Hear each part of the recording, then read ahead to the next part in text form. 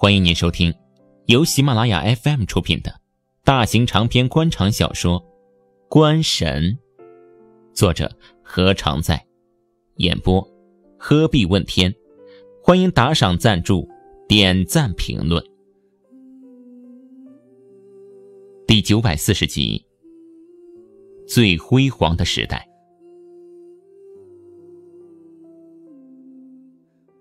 在岁月的流逝中，许多人离去，许多人到来，人生就是一场聚散不定的盛宴。有开始，必然有结束。不管是喜剧还是悲剧，结束的一刻，总会如期而来的。在下想担任政治局常委第三年，邱老爷子告别人世；第五年，梅老爷子撒手人寰。在下乡第二届政治局常委任期刚刚开始，他的排名由最后一名跃升到第五名时，此时的他已经是中共中央政治局常委、中共中央书记处书记、中华人民共和国副主席、中央党校校长、中国共产党中央军事委员会副主席、中华人民共和国中央军事委员会副主席，等于是。完全坐稳了接班人的位置。尽管此时的吴才阳已经卸任，但下乡早就由一片森林成长为一座巍峨的高山。即使没有吴才阳为他保驾护航，他的地位之稳固，无人可以动摇。另外一个对夏乡有利的条件是，在吴才阳退下之后，梅生平入场了。更有意思的是，傅先锋也入局了。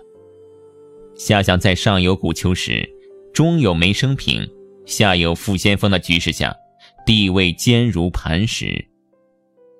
在这样的情形之下，吴老爷子也就可以瞑目了。吴老爷子用尽全身力气拉住夏想的手，脸上流露的不是悲伤。而是了无遗憾的满足。夏香啊，我要走了。人老了，总有要走的一天呢。否则赖着不走，也是累赘呀。你有现在的成就啊，我很高兴。也很满意呀，啊，只是可惜，还是看不到你登顶的一天了。邱老爷子离世时，夏想没哭；梅老爷子走的时候，他也忍住没掉眼泪。但面对对他最是关爱，一直视他为亲人的吴老爷子即将长别人间，他就算现在已经是国家领导人之一。也无法克制自己内心的情感，泪水奔涌而出。老爷子，在生死面前，任何语言都苍白如纸。哭什么呢？我也活够了。按照民间的说法呀，我现在死了。也算是喜丧啊！啊，就是有一点遗憾呢，我还是走在老虎的前面了。他比我能活呀！哈哈。忽然之间，老爷子精神似乎好了许多，眼中闪着异样的神采，但他手上的力道却在慢慢的消失。夏香更是心痛如绞，老爷子最后的生命之光在超长的燃烧，是回光返照啊！我一生一直耿耿于怀的一件事情就是，当年你在燕市的时候，我盛怒之下对你出手。多少年了，我一直避而不谈这个问题。其实是在逃避呀！啊，这件事情一直是我的心病。现在我要死了，想想啊，你别嫌晚呐，我要向你亲口说一声对不起呀。以前的事情，确实是我的错呀，我不该向一个年轻人下狠手啊。老爷子，别说了。夏香泣不成声。他一直也清楚，老爷子对当年的事情始终铭记在心，从未忘怀。只是老爷子一直不提，还是老人的自尊心作祟。再者，这么多年来，老爷子对他的关爱和疼爱，早就弥补了当年的伤害。他何尝不知道老爷子的内心呢？一个倔强、自尊而又不肯认输的老人家，在固执之余。又有可爱护短的一面，他从来就没有恨过老爷子半分呢。老爷子对他的疼爱，甚至已经超越了对吴家子孙的疼爱。他怎能还记恨一个老人家当年为了爱护孙女而做出的盛怒之举呢？啊，再不说呀，呵，就没有机会说了。老爷子不理会夏夏的反对，继续说完自己一生之中最后的话：“夏香啊，我疼爱你这么多年了，你没有让我失望啊！我九泉之下也瞑目了。你是一个好孩子啊，我一直当你比亲孙子还亲呢。”夏向心痛的已经说不出话来，几乎站立不住。他以为自己很坚强了，不想在面临老爷子生死大事之时，还是软弱的没有力气呀。孩子，能不能叫我一声爷爷啊？爷爷。夏香放声大哭，吴老爷子却是微笑的闭上了眼睛，永远闭上了他那一双睿智，并且征服了无数人的双眼。一个世纪老人的陨落，半个京城都陷入了悲痛之中。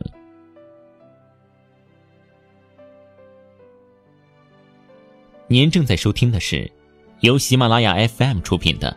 大型长篇官场小说《官神》。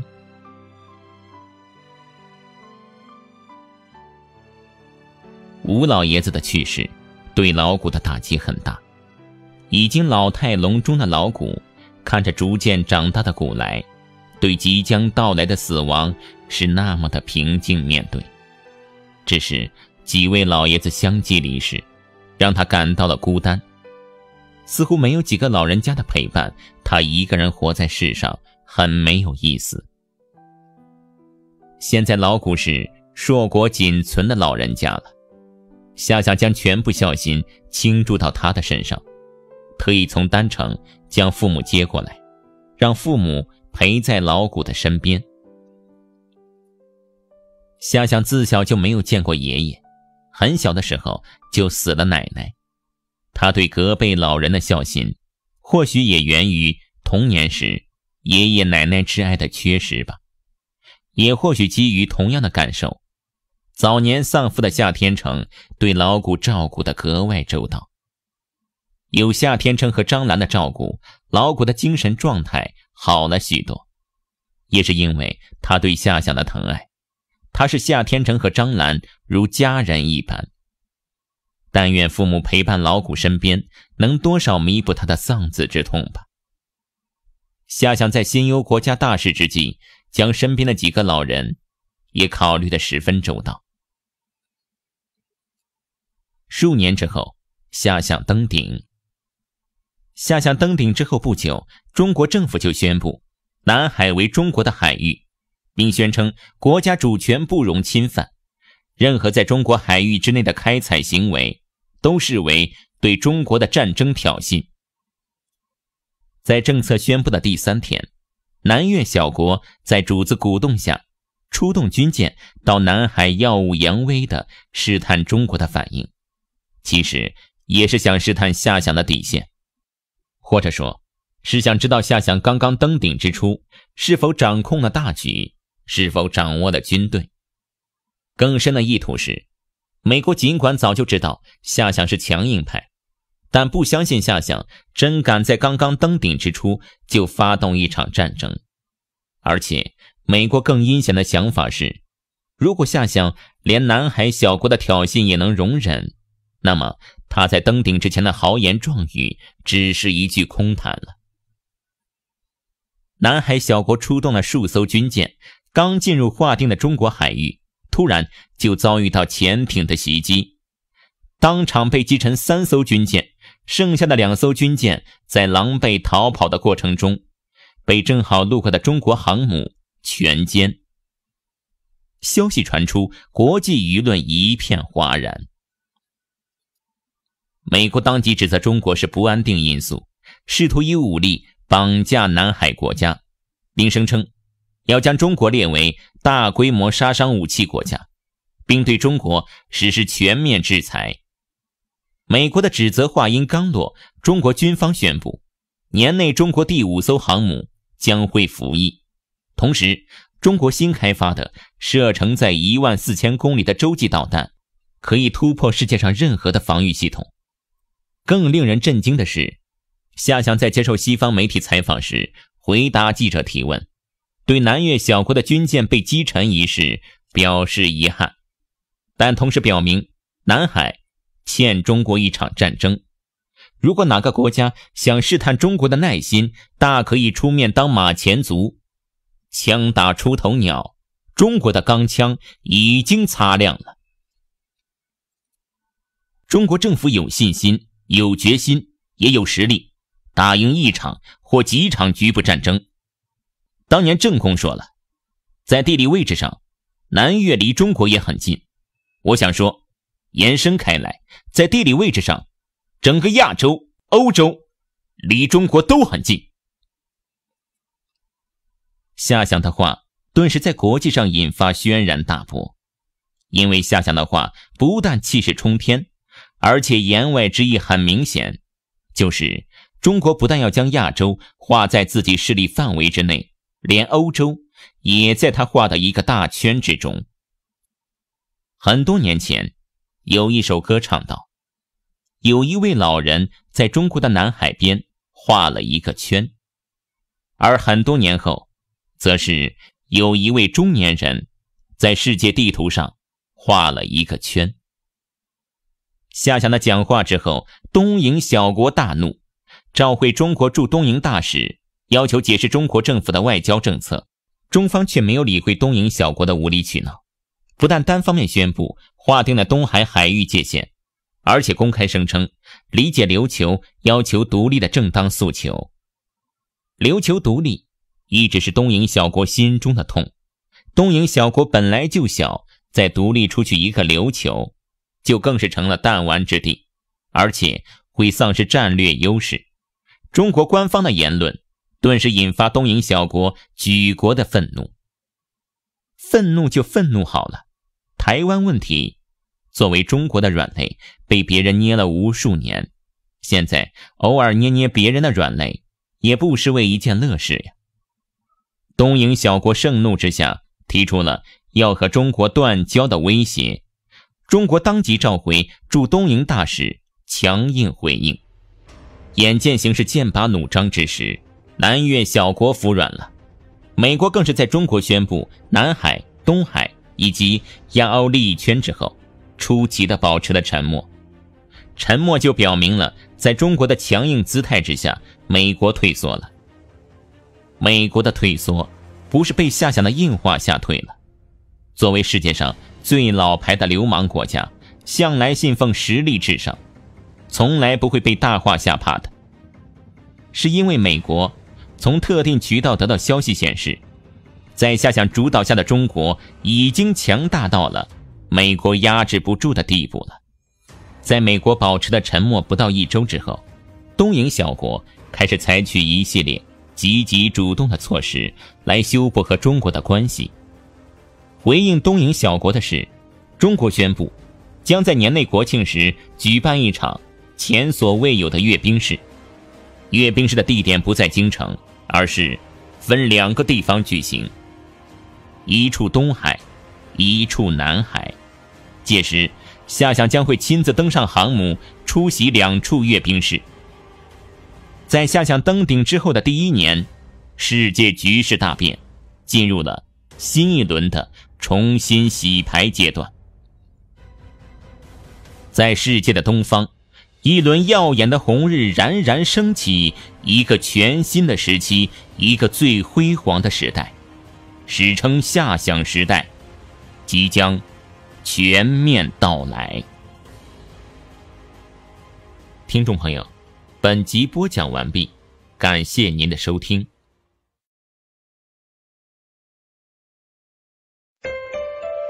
留住动听的声音，建立有声的世界。欢迎来到听书网，听二二点 com。第九百四十一集，后记之唐天云。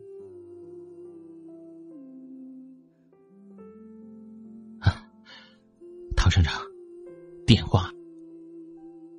秘书关德急急敲门进来，慌里慌张的向唐天云汇报。唐天云不慌不忙的看了关德一眼，威露不满的说道：“关德呀，我说过多少次了，遇到事情要镇定，不要慌乱。你现在的样子，不太像话呀。”关德是唐天云的新任秘书，刚从河海大学调来，原先是历史教师，一次偶然的机会被唐天云看中，并调到身边担任了秘书。唐天云的想法很长远，他看中了关德的稳重老成的性格，认为关德的性格和他有几分相像。唐天云期望，在得到一个得力的助手的同时，也有意将关德培养成后备力量。未必就是可以问鼎的后备力量，但至少也是可堪大用的后备力量。夏主席说过，他相信他的眼光。希望他能为他分忧。现在夏主席太忙了，分身乏术。他作为夏主席的首席智囊兼得力助手，必须为夏主席的大计做出力所能及的布局啊！本来按照原先计划，唐天云不会外放到燕省担任省长的，但突然间燕省情况有变，在夏想大力推动下，唐天云得以出京。外放担任燕省省长，替下想处理燕省的突发危机。和上次的四牛奶粉事件类似，燕省突发事件说大不大，说小不小，却影响到下想的布局，必须由下想最信任的人出面予以调停解决。彭云峰此时已经在中央办公厅打开了局面，他去显然不太合适。而陈天宇，却在夏主席曾经的发迹之地西省担任省长，临时调往燕省，力有不逮。最后权衡之下，唐天云就成了当仁不让的人选。唐天云知道，他在燕省的一任是权宜之计，可能一年最多两年就会回京，但不管时间长短，要干就要干出样子，不能辜负夏主席的信任。更不能空来一次，要为夏主席在燕省布好大局。燕省是夏主席的母亲省，是他最牵挂的省份，绝对不允许有一丝的差错。尽管现在的夏相才是国家副主席，但接班人的位置已经稳固了，在政治局常委中排名第五，却是实际上的第二号人物。唐天云一到燕省，就全力以赴的完成收局工作，基本上一切还算顺利。以唐天云跟随夏相多年历练的能力，再加上他身为国内人人皆知的夏相第一秘的特殊身份，就让他一到燕省就打开了局面。夏想时代正在拉开序幕，在现在的情形之下，如果唐天云还不能借助夏想的威望将燕省的局势理顺的话，他就愧对夏想第一秘书的称呼了。在局面大开之后，唐天云开始了第二步的布局，调关德到身边，就是他在燕省长远布局的第二步。但今天关德的表现让他大失所望啊！唐天云很喜欢关德这个年轻人，有活力、有冲劲，又有难能可贵的坚韧不拔的品质。除了在待人接物的火候上有所欠缺之外，基本上事事让他满意啊。关德被唐天云一上来就是不轻不重的一句敲打，他一下愣住了。随后，脸微微一红。唐省长，我确实急躁了，接受您的批评。关德态度很诚恳，唐天云的怒气就消减了三分，才想起问道：“是谁的电话呀？”夏主席。呃，夏主席。唐天云一下站起，急忙伸手接起电话。夏主席来电，怎么不早说呢？话一说完，他才意识到自己的失态。也是，刚刚批评了官德不够持重，自己听说是夏想亲自来电，不也是一时惊慌吗？人都是宽以待己，严以律人。摆了摆手，他对关德说道：“我知道了，你去忙吧。”关德悄然退下，唐天云稳定了一下心神。才微带恭谨，并且亲切的说道：“老领导有什么指示精神吗？”夏想的声音从几百公里之外的京城，通过电话线传来，如在耳边一样亲切。天云呢？近期国务院要召开一个经济转型省长会议，我提议啊，你来参加一下，应该会有收获的。啊，是，我也很想从兄弟省份多取取经。多学一些经验呢。唐天云答道，同时，也正好进京见见老领导，跟老领导当面汇报汇报工作。向我汇报工作是次要的，主要的是，你也该来京城看望扶政委了。夏想轻描淡写的说道：“昨天呀，我刚和扶政委见了一面，谈了一些事情。一句话。”击中唐天云的心事，他的呼吸不由得为之一滞，心脏陡然猛烈跳动几下，随后又努力平息了内心的激动。他很高兴夏想能和他的岳父建立紧密握手的关系。不错，唐天云是军中两大福姓太子党之一的福冠沙的女婿。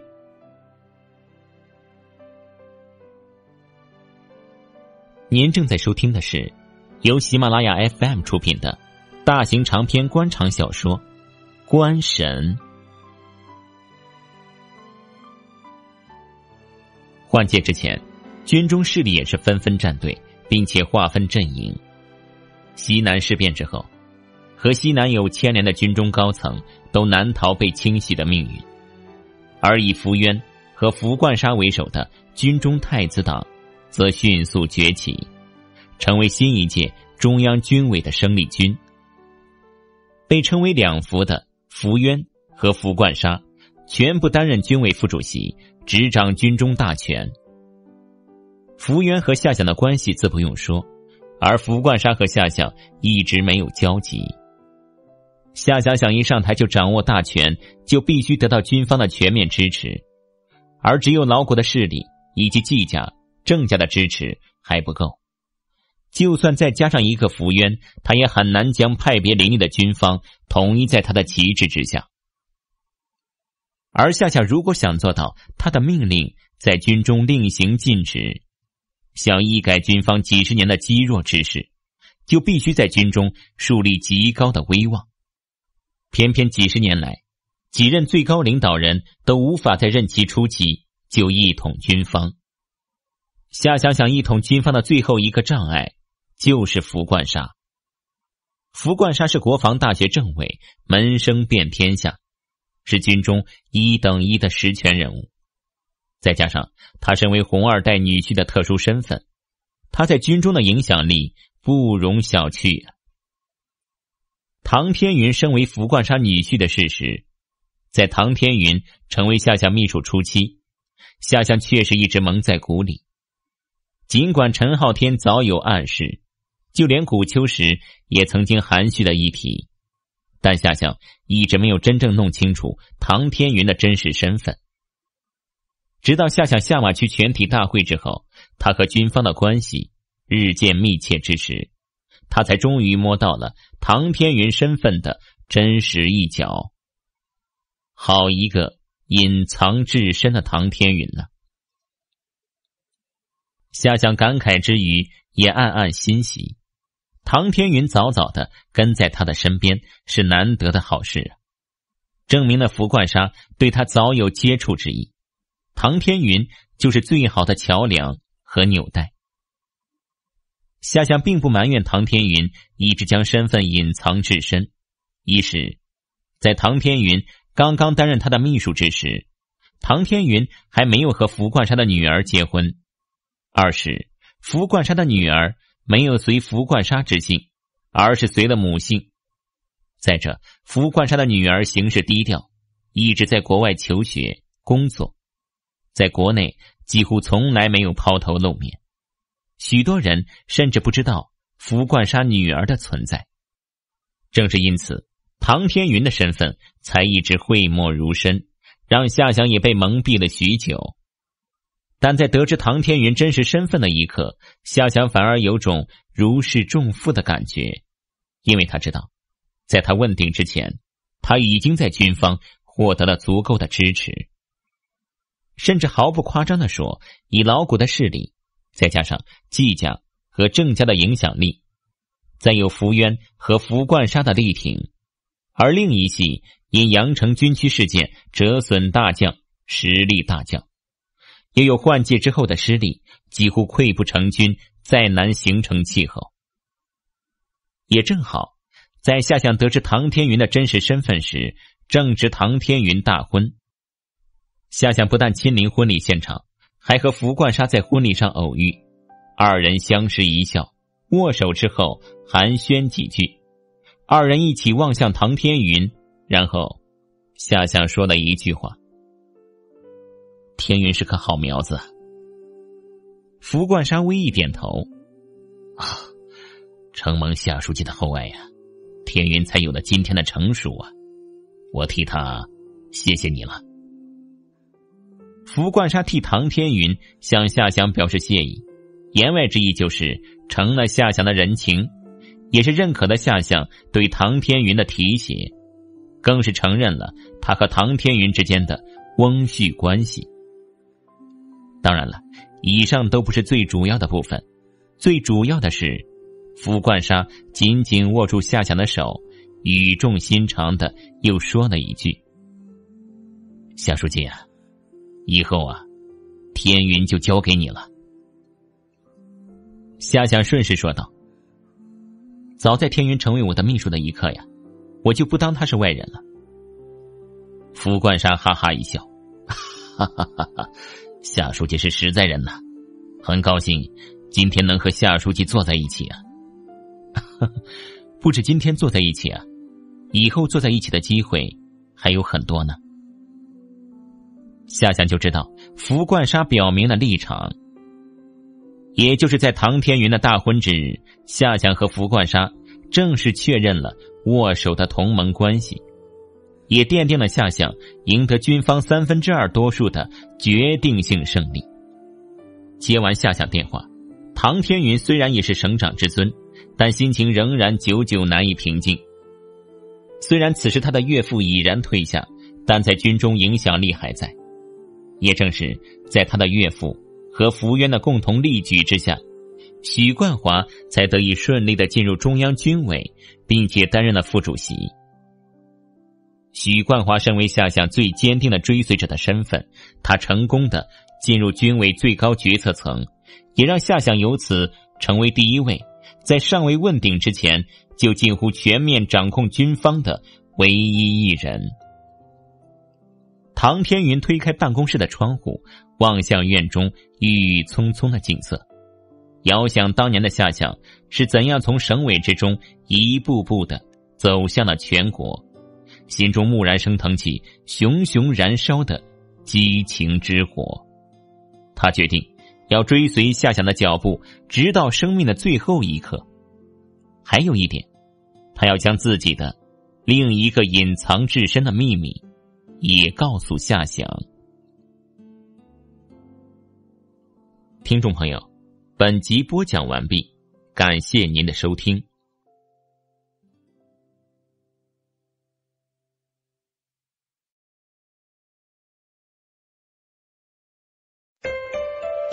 留住动听的声音，建立有声的世界，欢迎来到听书网，听二二点 com。第九百四十二集，后继之古风。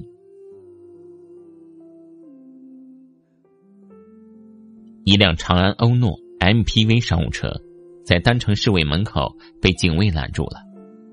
警卫很不客气的要求司机将车开走。警卫平常见过的好车无数，不是奥迪、宝马就是奔驰，有资格进入市委大院的人物。会开一辆几万元的长安欧诺商务车吗？开玩笑。欧诺的司机只是笑笑，冲警卫说道：“哈哈，请等一下，我打一个电话。”警卫见欧诺的司机谈吐不凡，虽然车的档次不高，但人的品味不低呀。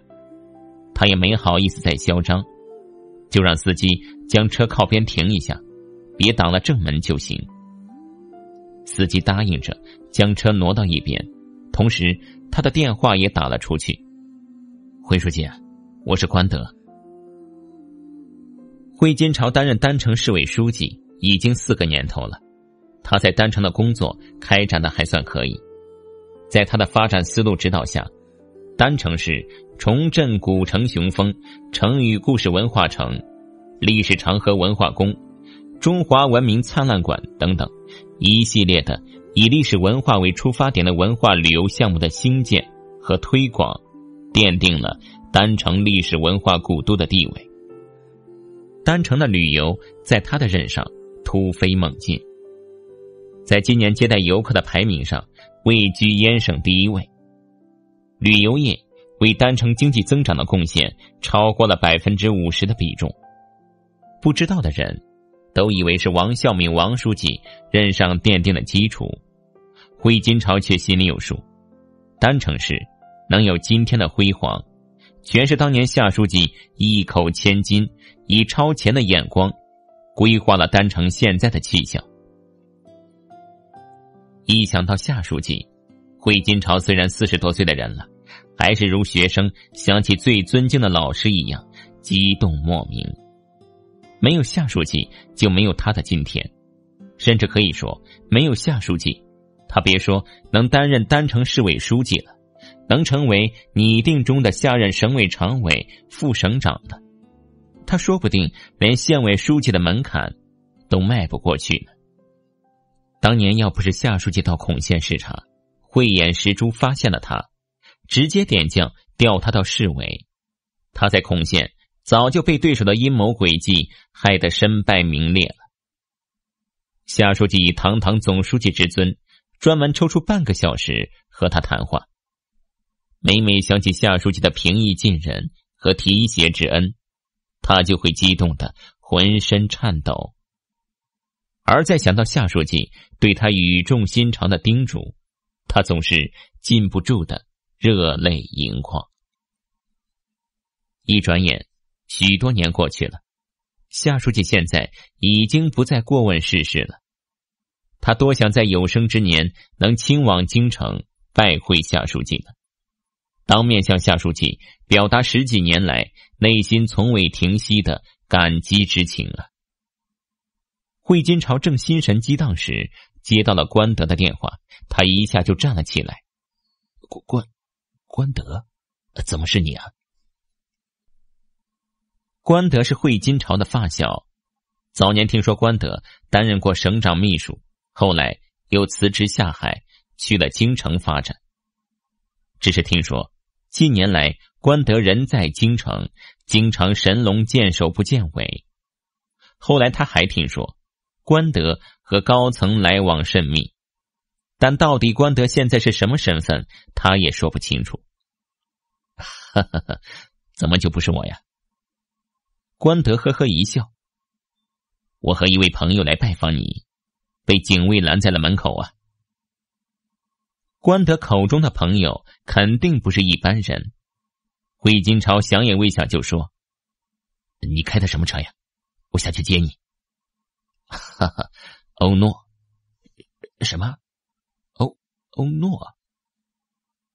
魏金朝愣了，他脑海中将他所知的车型都迅速过了一遍，还是不知道。欧诺是什么车？呃，不好意思，我还真不知道是什么车呀。哈哈，我在车旁等你就行了。关德笑道，没有过多解释，解释也解释不清楚。谁让车上那位非要低调，点名要做欧诺？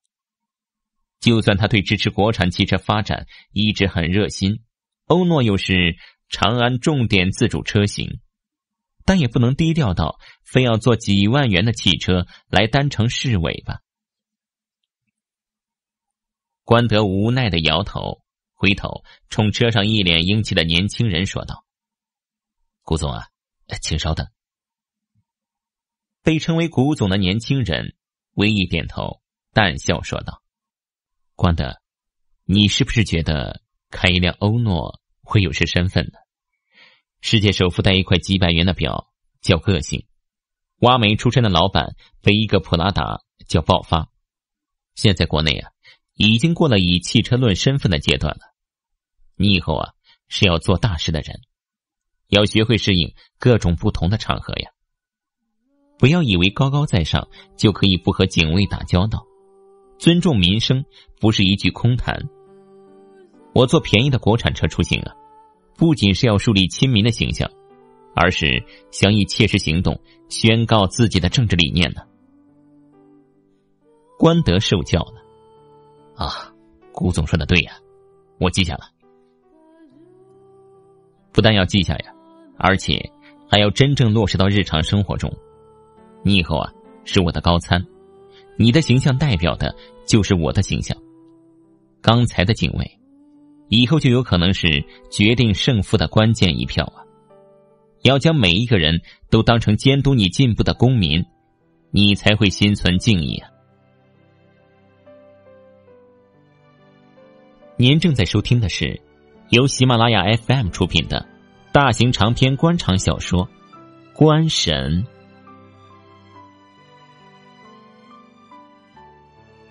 关德心悦诚服的郑重点头。他现在才从内心深处佩服眼前的年轻人。年轻人和他年龄相当，出身于世家，从小衣食无忧，而且背后还有呼风唤雨的庞大家族。但他从来不以二世祖自居，从小就表现出与众不同的悲天悯人的情怀，举止言谈温文尔雅，颇有谦谦君子的古风。魏金朝匆匆赶来了，警卫一见市委书记亲自出面，吓得一激灵，忙不迭的敬礼。又见书记脚步不停，上前热情的和欧诺司机握手，他吓得腿都软了。坏了，坏事了，得罪了大人物了。等司机打开车门，车上又下来一个年轻人时，警卫注意到惠书记一见来人，顿时愣住了。过了半晌，才恭恭敬敬的弯腰向来人致敬。等来人伸出手时，惠书记才微微颤抖的伸出双手接过。警卫眼前一黑，差点晕倒。来人才二十多岁年纪，是什么来头？大到让惠书记几乎诚惶诚恐了？印象中，会书记迎接省委书记时，也不至于。这么受宠若惊啊！警卫差一点就瘫软了，不等他瘫软，车上的年轻人却直接冲他走了过来。警卫心想：完了，他一句话就会让他卷起铺盖滚蛋回家呀！好好的一份工作丢了不说，得罪这么大的人物，他以后不一定会是什么悲惨的命运呢。警卫吓得连话都说不出来了。不料年轻人伸手过来，和颜悦色的说道：“警卫同志，给你的工作添麻烦了。你是一个尽忠职守的好同志。我刚才向会书记建议，要表扬你。”警卫战战兢兢的握住年轻人的手，说道：“首首长，对不起啊，我我刚才。”有眼不识泰山啊！不要说了，你刚才做的对，你的职责就是严查每一个进出大门的访客。如果你问也不问就抬手放行，我就会向会书记建议啊，将你调离。每个人都有自己的职责，忠于职责，遵守规章制度，人人都严以律己，国家才有希望啊！大道理，警卫不懂。但他却听明白了一点，眼前的年轻人不但没有责怪他的意思，反而还表扬他忠于职守。他被年轻人的气势折服了，算是切身体会到惠书记诚惶诚恐的感受了。他紧紧握住年轻人的手，语无伦次：“谢谢，谢谢首长。”我不是首长啊，我姓古。叫古风，古风呵呵一笑，转身随会金朝走进了市委大院。若干年后，警卫在在电视上见到古风时，古风正在发表一篇著名的影响历史的演讲。警卫兴奋的指着古风说道：“我认识他，我见过他呀，他是一个特别好的人，我要支持他，你们都听我的。”一定要支持古风啊！在警卫的带动下，至少有上百人支持古风，而古风的名声正是在一件又一件看似微不足道的小事之上建立了亲民形象。一传十，十传百，百姓之间的口耳相传最有说服力了。灰金朝在回到办公室时，亲自动手泡茶时，心情还十分激荡。压抑不住内心的兴奋，他万万没想到，随同关德一起前来的竟然是古风。古风是谁？桂金朝心里有数，他现在已经无法形容自己激动的心情了，泡茶的手都微微颤抖。古风会亲自前来丹城，可见丹城在古氏家族心目中分量之重，而他身为丹城市委书记。也应该是入了古氏家族之眼了吧？会书记，啊不必客气，我冒昧前来，是有两件事情要麻烦你啊。古风言谈举止颇有古君子之风，每一开口都能给人如沐春风的感觉。前段时间呀，国家某研究机构公布了一则数据，说是。中华民族的复兴已经完成了百分之八十。先不说数据正确与否吧，也不管是基于什么准绳来做出判断，就我个人认为啊，民族的复兴之路，充其量才走了一半。文化不复兴，经济再发达，也是一条腿走路啊，早晚得摔倒。关德现在和教育部合办传统文化教育项目。准备以丹城为教育基地，和教育部联合举办文化夏令营，让丹城诞生的二百多个成语以文化传承的方式，影响到一代又一代少年儿童的心中，增加他们的民族自豪感和归属感，不再以出国为荣。第二件事情就是，关德想在孔县寻找一个人，一个五十多岁的老人家，初步判定。老人家人在孔县。老人家早年是某位高层的高参，在某次运动中受到冲击，从此下落不明。魏金朝恭恭敬敬的将茶端到古风和关德面前。啊，古总啊，孔县离丹城不远，明天呀，我亲自下去一趟。古风接过茶，谢谢。又说：“不必了，我和关德亲自去一趟。老人家，你请不动啊，而且你也未必能见得到啊。我安排一下。”挥金朝又说：“古风微微摆手，哈，不麻烦惠书记了。我和关德呀，悄悄下去就行了。只是想委托你一件事情。老人家。”既然一直在孔县扎根，以老人家的眼光，说明孔县呀要出人物了。挥金朝重重的点头，啊，我有数了。听众朋友，本集播讲完毕，感谢您的收听。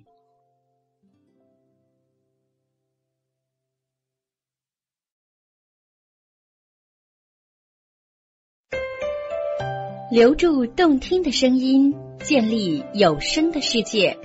欢迎来到听书网，听二二点 com。第九百四十三集，后继之孔县。汽车由丹城一路向东，直奔孔县而去。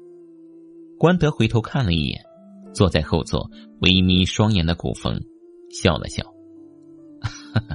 古总啊，孔县不过是一个平原小县，有什么重要人物值得你亲自下去一趟呢？孔县在丹城东面八十公里处，是丹城最东的一个县，面积很小，人口很少，又因为地处两省交界处，没什么工业基础，是一个几乎被人遗忘的名不见经传的小县。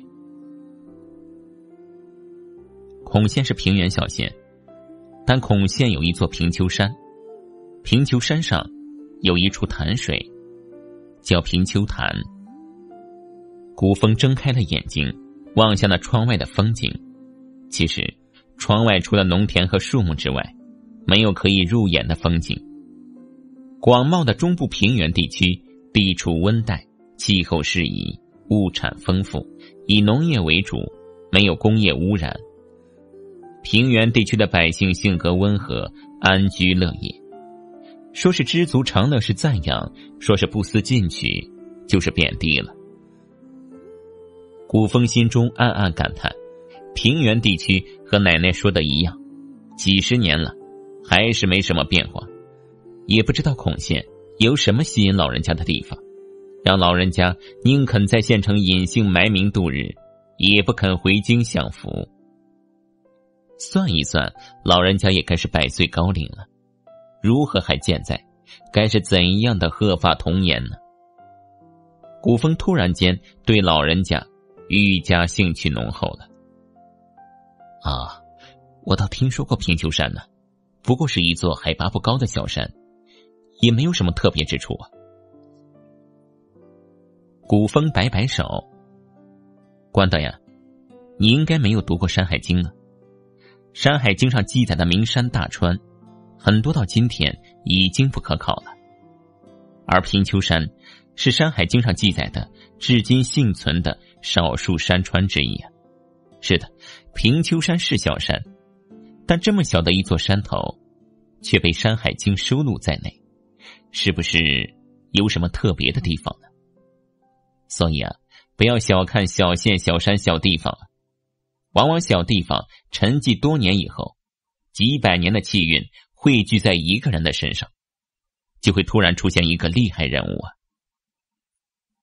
老人家究竟是什么人呢？关德小心翼翼的问了一句。一路上，古风一直不肯谈起老人家的姓名和过往，只说奶奶再三交代，务必要找到老人家的下落。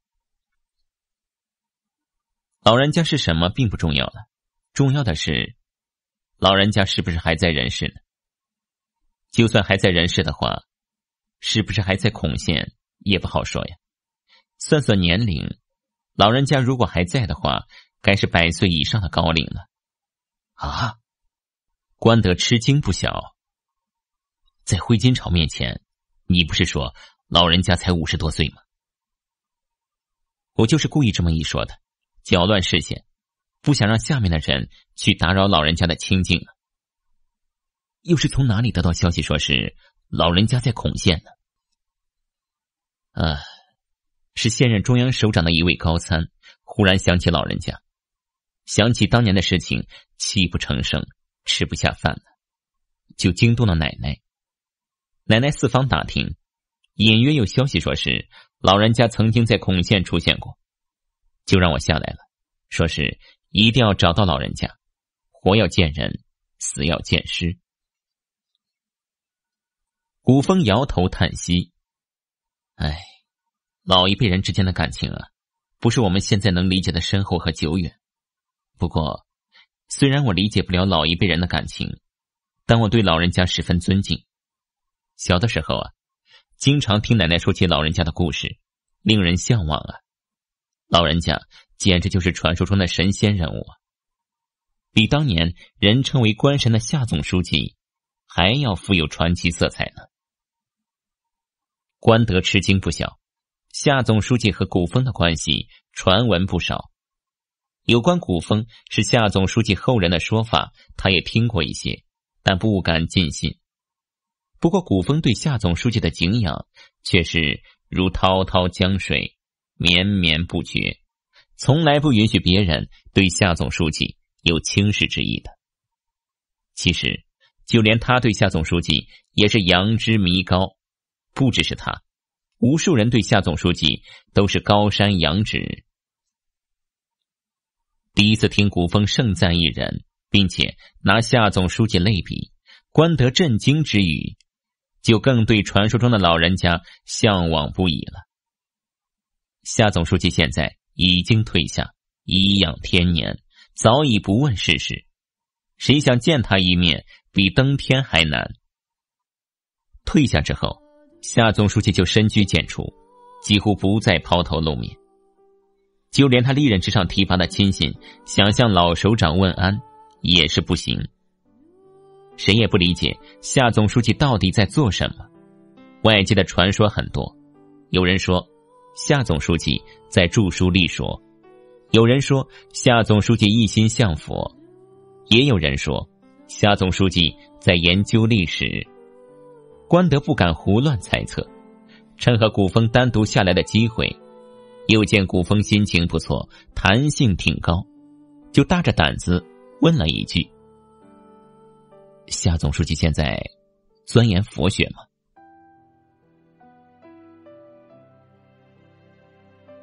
您正在收听的是由喜马拉雅 FM 出品的大型长篇官场小说《官神》。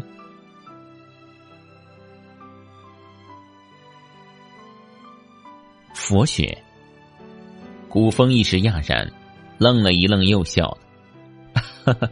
夏总书记啊，从来没有中断过对佛学的研究啊。当然，不仅仅是研究，而且还深信。高层中信佛的不在少数，不过都不会对外宣扬罢了。知道夏总书记为什么一向器重燕市吗？倒不是因为他起步于燕市，而是燕市市北长山县。有一座名寺，当年的主持大和尚曾经是夏总书记前几任一名高层的皈依师。延市市南赵州县也有一座名寺，寺内高僧大德众多呀，出家僧有不少是北大清华的高材生。燕市正是因为位于两大名寺之间，所以平和从容，百姓安居乐业呀。夏总书记信佛多年，以前在位时啊不便宣扬，现在退下了，外界知道了也没什么。记得我小的时候啊，夏总书记总是告诫我，人的一生啊，总有一些信仰才行的，没有信仰的人生是可悲的人生。如果一个民族没有信仰，只追求金钱、物质和享受，必定崩溃啊！无数历史事件已经证明了这一点。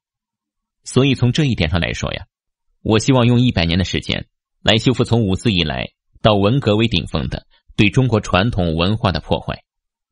纵观几千年的中华历史，凡是佛学鼎盛时期，就是盛世。呃，这么说，夏总书记现在是一心向佛了。关德总算听出了一丝味道，从夏总书记信佛到信仰危机，再到古风亲自出面寻找流落民间的奇人，其中必定有关联之处。建国初期啊，有人为开国领袖批了几个数字，领袖将信将疑，但百无禁忌的性格呀，让他无视一切。等到将死的时候，回想一生。木然而惊啊！几个数字历历在目，才知道他一生批判的所谓的封建主义的糟粕，很多呀其实是精华。世间不犯错误的人是圣人，而不是伟人。任何伟人在伟大之处，必有自身无法正视的缺点。十年浩劫，扼杀了多少天才人物，毁掉了多少民族的文化财富呢？也改变了多少奇人异事的命运呢？关德心中一紧，心中的思路越来越清晰了。古风到孔仙要找的老人家，多半是奇人异事吧？建国之前呀，在定都的问题上，开国领袖咨询了许多专家，专家中有历史专家，也有建筑专家。这里的建筑专家，其实就是半个风水专家。在古代呀，建筑和风水不分家。最终确定啊，定都在京城，在很大程度上是听取了一位老人家所说的“京城王气正盛”的意见，也是吸取了蒋家王朝的经验教训。古人说：“金陵王气黯然收”，蒋家偏偏不信，非要定都南京，结果惨败呀。关德连连点头。虽然现在谈论蒋家的失败有事后诸葛的无趣，但历史就是留给后人认真精读的，然后吸取经验教训。否则，记录历史又有何用呢？其实开国之初啊，基本上每位首长身后都会有一个高参的，一个从来不会有官方记载但却真实存在的高参。其中有一个。在开国元勋身后的姓荣的高参，在一次聚会时提到官运的说法，说是人有时运，天有天运，官有官运，得到与会者的一致肯定。运气一说呀，虽然看似虚无缥缈，又或者被归结于封建迷信，但又真实存在呀，并且时刻影响个人前程。运气一到，任何事情都会顺顺利利的。相反，就会诸事不顺了。只要是真正读过历史的人都知道，在每一次的关键战役中，都会出现出人意料的转折，胜利的一方就好像犹如神助一样，这就是时运。朱棣在夺取明朝天下时，几次不可思议的死里逃生；明朝灭亡时，京城的十几万兵士一夜之间得了传染病，失去了战斗力。古风一谈起历史就滔滔不绝，他名叫古风，言谈举止确实也有古人之风，也是关德仰视古风的一个原因所在。荣高参既然提到官运了，各位聚在一起就纷纷讨论各位首长的官运了。最后啊，高参喝醉了，说了一句让在座众人都大吃一惊的话：“各位，趁早收拾铺盖回家种地吧，走得早了还有命在。”走得晚了，死都不知道是怎么死的。我们在座的服务的各位首长的官运呢，到头了。结果呀，当然是谁也不信了，以为他说的是醉话。个人服务的首长都正是如日中天，而且还是开国元勋呢，怎么可能官运到头呢？完全是不可能的事情啊！结果事后不久啊，荣高参不辞而别，离开京城。从此下落不明啊！别人还在嘲笑荣高参杯弓蛇影，自己吓唬自己。谁知就在荣高参走后不久，一场席卷整个神州的浩劫开始了。世人都只看到十年浩劫表面上带来的破坏，却都不知道在浩劫的背后，有多少首长背后的高参死于非命啊！从此，万马齐喑，人才凋零啊！荣高参。关德明白了，古风此来孔县是为了荣高参。啊，孔县到了。古风的目光透过车窗玻璃望向了窗外，窗外是一个没有特色、平淡无奇的平原县城。如果不是路边的“孔县欢迎您”的路牌，说是别的什么县也并无不可呀。古风脸上露出一丝意味深长的笑容。呵呵，我预感啊，我们的孔县之行不会太顺利的，而且说不定还有许多故事要发生啊。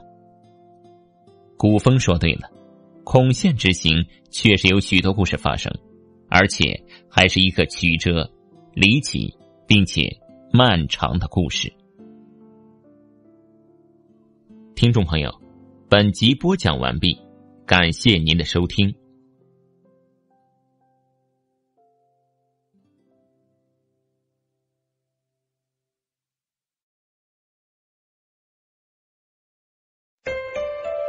留住动听的声音，建立有声的世界。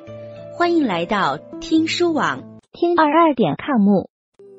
第九百四十四集，后继之新的故事。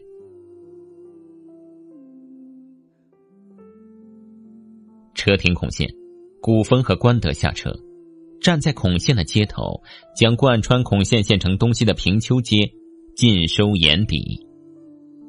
正是秋季，孔县街头行人匆匆，各自有事，没人留意到远道而来的外来客古风和关德。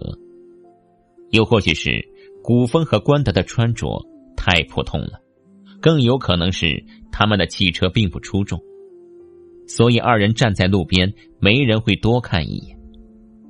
就正合了古风悄悄的来去之意。路旁高大的梧桐树。树叶已经泛黄，风一吹，飘落几片树叶，摇晃间正好落在古风的脚下。古风伸手捡起一片落叶，对着阳光看了一会儿树叶的脉络，感慨的说道：“人生天地间，忽如远行客，是叱咤风云一生，还是流落民间，默默无闻一生，都在自己的选择呀。我只是……”始终想不明白的是，老人家为了避开十年浩劫而流落民间，但在后来政治清明了，为什么不重新出山呢？别人或许还不好说呀，在夏总书记在位的时候，他也应该看出夏总书记的为人包容和宽厚啊。还有啊，他为什么不回京看望一下他昔日的故交呢？能逃过十年浩劫而活到现在，多不容易啊！以老人家的眼光和对局势的判断，他不出山，难道还是在逃避什么吗？渡尽劫波兄弟在，相逢一笑泯恩仇的情景，该是多么感人！可惜呀，关德只是沉默，没有说话。他理解不了老一辈人的情怀。也无法达到古风忧国忧民的情怀的高度。他想了一会儿，忽然说出了或许古风不愿面对，却又不得不承认的事实：是不是老人家已经不在人世了呢？啊，我一开始啊，也不愿意去面对这个事实，但一来，老人家就算在世，也是百岁高龄了；二是。老人家从八十年代向后三十年间，有足够多的机会重返京城，但他没有，就如泥牛入海一样，再无音讯了。要不是不想违背奶奶的意愿，和寥寥几位德高望重的老人家的心愿，我对孔宪之行其实是不抱任何希望的。呃，我不是很明白呀，古总，古老按照年龄推算。应该和老人家不是同代人，他对老人家为什么这么有感情呢？我也不清楚啊。奶奶和老人家确实不是同代人，而且奶奶根本就没有见过老人家。但他不肯说出原因，只是一再要求我找到老人家。他才知道老人家的确切下落。就算老人家不在人世了，也要将骨灰带回京城，否则他死不瞑目啊！背后肯定隐藏着一个久远的，并且爱恨情仇的故事。关德不敢再问了，有些事情不知道比知道要好啊！走，去民政部门看看。老人家在世的话是百岁高龄了，百岁老人，就孔县二十多万人口的比例来说呀，肯定不多见的。民政部门肯定有登记的。不过让古风失望的是，民政部门登记的几名百岁老人中，除了四五名老太太之外，只有一位男人，他叫翟宝家，是土生土长的孔县人，从小到大，再到百岁。从未离开过孔县一步。显然，翟宝家不是古风要找的人。更显然，从民政部门查到老人家下落的方法，此路不通啊！古风和关德先在孔县住了下来，住在政府招待所飞马宾馆。飞马宾馆的设施还算不错，虽然比不起单城的奢华，但也算整洁干净。商议了半天，关德自告奋勇要出去施展他的妙计。古风听了，笑了笑，没有反对，等于是默认了。关德就收拾一下，一个人出去了。关德一走，古风就拨通了京城的电话：“奶奶，我在孔县了，不过没找到老人家呀。你是不是就到民政部门查了一下呀？”奶奶的声音从几百公里之外的京城传来，亲切如在耳边。虽然因岁月的流失，声音苍老而悠远，但依然可以清晰的听出他当年的动人悦耳的嗓音，宛如环佩叮咚，仿佛呼啸之间，岁月在眼前一晃而过。曾经的下马河畔，曾经的京城华盖。曾经的天南地北的一往情深，都一一在脑中浮现。忆往昔峥嵘岁月稠，多少往事，多少云烟，多少人和事，虽然已经远去，却永远不会在历史长河中消散。县城南边呢，有一座平丘山，你去山上看看，要看仔细了，一草一木。一个草屋，一个山洞，都要亲自看了。只要看到有遗弃在外面的人骨，就收了埋了。然后，你就回京吧。您正在收听的是由喜马拉雅 FM 出品的大型长篇官场小说《官神》。奶奶的声音透露出沧桑和疲惫，古风一生之中最敬重奶奶了，不由得担心。奶奶，您怎么了？我没事儿，就是想起了以前的事情，心里惊涛拍岸。芬儿，你肯定心里有疑问，奶奶和老人家又不认识。为什么非要让你大老远的跑上一趟呢？实话告诉你吧，奶奶也是抱了百分之一的希望。万一老人家在世，他指点你一两句的话，你就会受益匪浅，对你接下来要走的道路会有莫大的帮助的。可是奶奶，古风从小就养成了谦下平和的性格。但对奶奶的话还是不敢相信。老人家就算在世，也是百岁高龄了，以他的年纪和眼界，怎么还能对现在的国内外局势有大局观上的准确判断呢？风儿啊，从秦始皇到汉武帝，再从唐太宗到宋太祖，都被称为千古一帝啊，甚至到了满清时期。康熙也被人称为千古一帝，都是千古一帝啊，就没有千古一帝了。你也不要以为古人就一定不如今人。古人的智慧呀，有许多我们不了解、不理解，也超越不了的东西呀。从五四到文革，文化的断层让我们民族失去了太多宝贵的历史遗产。一个能提前看出十年浩劫的人，会看不出未来百年的走向吗？古风沉默了，他对传统文化最为尊崇。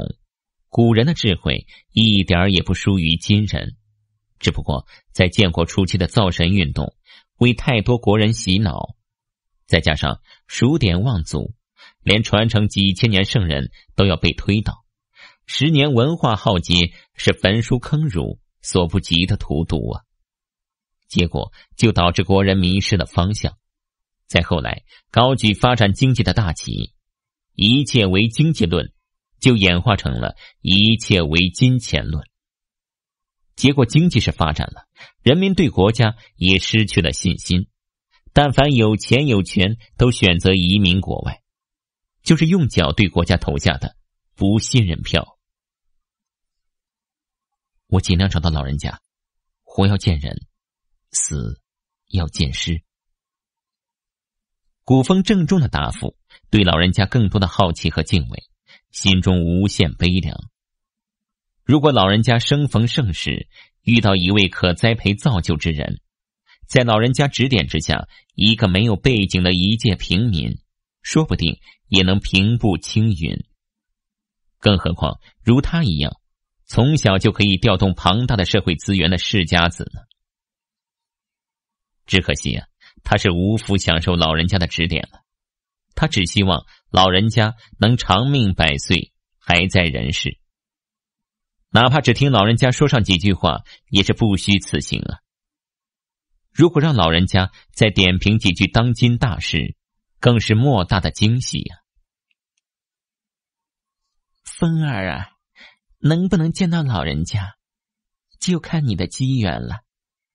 你不知道呀，京城之中有许多高参见到他，从辈分上讲，都要尊称他一句前辈的。就连你爷爷，对老人家也是十分敬仰。只是啊，他一直没有机会见上老人家一面，让他的一生都引以为憾呢。能见到老人家是福分，见不到老人家也没有办法呀。是你和他没缘分，连爷爷都因为没有见到老人家一面而引以为憾。古风心中大为震撼，他以为爷爷一生叱咤风云，从一介平民走到最高人的位置，经历了多少浮沉和沧桑，一生应该了无遗憾了。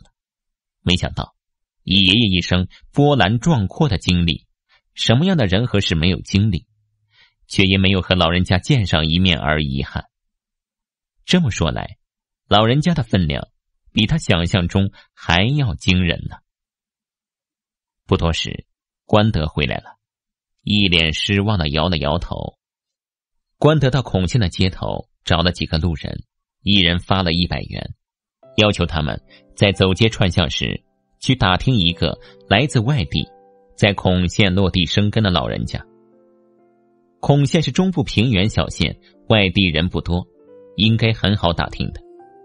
结果关德撒出去上千元，找了十几个人，走遍了县城，问了不下几百人，从三十岁到八十岁都问了一遍，最后却是一无所获。谁也不知道有这样一个人，就证明了一点：此路不通。难道说老人家从来没有在孔县出现过？难道说京城方面的消息有误吗？关德的疑问，古风并没有正面解答。他在接到奶奶古玉的电话之后，心中其实已经有了答案。他只是对关德说道：“走，孔县之前的最后一站。”平丘山，平丘山距离县城不过一两公里，开车过去五分钟。车停在平丘山的山脚下，抬头仰望，已经成为孔县标志性景观的平丘山的南大门，上面几个苍劲有力的大字：“天下奇山，平丘山。”关德笑道：“ 平丘山，我虽然听说过，但也不至于称为天下奇山吧？如果这座海拔几百米的小山头，也能称之为天下奇山，黄山和泰山，又算什么呢？”名气不大的山呢，未必就不是天下奇山。关德，你忘了古人说过吗？山不在高，有仙则名；水不在深，有龙则灵。关德也笑了，难道说山上还有一个陋室，里面真住着一个老神仙吗？哎，不过也别说呀，记得前些年平丘山的名气很大。是国家旅游景区，一时之间呀，成为不少人向往的圣地，连不少国家领导人都来过呢。不过现在似乎又沉寂了。事情总在兴衰变化之中啊。平丘山的兴起因为一个人，衰败也是因为一个人，谁呀？难道是老人家吗？是呀，不过那就是另外一个故事了。我相信，还是一个很长、很久远，也很引人入胜的故事。走，边上山边说吧。这一上山，就引出了一个全新的故事。听众朋友，本集播讲完毕，感谢您的收听。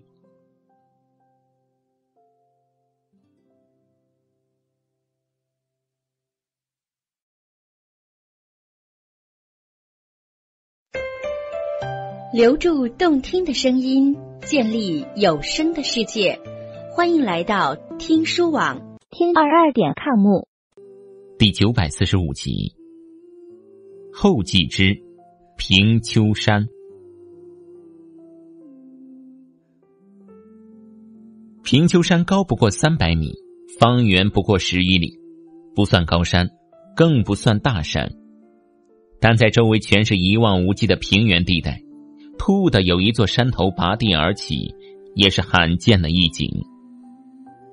去桂林的人都见过平地起山的神奇，但桂林山多，习惯了也不觉得如何。孔县就不一样了，县内只有一座平丘山，甚至以孔县为中心，方圆几百里内也就只有一座山，因此平丘山虽然不高又不大。但却如一柱擎天，矗立在孔县境内，十分奇特。《山海经》中记载了许多名山大川，不少在现在已经不可考了，但平丘山却是其中记载的为数不多的，在今天还可以确切亲眼目睹的名山之一。说是名山，或许有些夸张了，不过在远古时期，能被记录在《山海经》中。平丘山肯定有其过人之处。与其说平丘山是名山大川，倒不如说平丘山就是一座山头。当古风站在山脚下，在周围全是一马平川的原野的映衬下，平丘山显得异常的高大雄伟，就如一位巨人高高耸立，四面的庄稼就如沉浮的千军万马，微风吹过。万千作物纷纷弯腰点头，而平丘山傲然而立，犹如沙场秋点兵的将军。古风连连点头。不错不错，山不在高，有气象则明啊。平丘山气象万千，果然是非同一般呀。关德却是不解：“哎，古总啊，我没看出哪里有气象啊。”不过就是一座平淡无奇的小山罢了。古风笑着摇了摇头，我现在明白了为什么京城几个老人家非要说荣高参人在孔县了。来之前呀，我还专门研究过孔县，确实也没发现孔县有什么离奇之处啊。现在才知道，孔县有平丘山的缘故，必出英才呀。有这么神奇吗？不是神奇啊，是真实。山水是大地的锦绣文章，历来山清水秀之地啊，就是地结人灵之处。方圆百里之内只有一座平丘山，平丘山就聚集了方圆百里之内天地灵气，孕育久了，必定应验在人的身上。如果你通读了历史，就会知道啊，历来杰出人物都和山水有不解之缘呢。我想想啊。关德一边陪古风上山，一边说道：“不记得国内有哪个杰出人物是孔县人呢？”，不用想了。古风摆手一笑：“你想也想不起来呀，肯定会有的。但你从他的履历上应该看不出来。你把思路再放开一些，想想有谁是丹城人呢？”关德低头去想，古风却又笑了一笑：“ 先别去想了，先一边上山呀，一边欣赏沿途的风景吧。”正值初秋季节，平丘山植被繁茂，放眼望去，郁郁葱葱，苍茫一片。平丘山地处中部平原，属温带大陆性气候，其山既不如南方山系妩媚婉约。